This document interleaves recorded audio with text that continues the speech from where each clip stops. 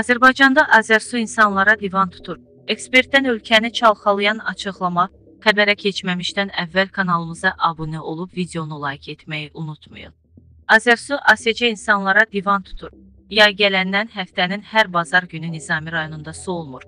Bir neçə il qabaq bütün binalardan su çənlərini Bakı şəhər İcra Hakimiyyətinin başçısı Eldar Əzizovun göstərişi ilə söküb apardılar. Dedilər, su daimi olacaq. Lakin artıq neçə ildir su təchizatında mütəmadi problemlər yaşanır. İndi 40 dərəcə isti var və su yenə yoxdur. Digər günlərdə saat 22:00-dan sonra ümumiyyətlə olmur. Azərsu ASC-nin mətbuat katibi Anar Cəbrayılıya müraciət etmişəm, reaksiya da vermir. Xəbərdarlıqsız insanları bu yayın istində susuz qoyublar. Pravda Azın xəbərinə görə bunu iqtisadçı Eyüb Kərimli bildirib.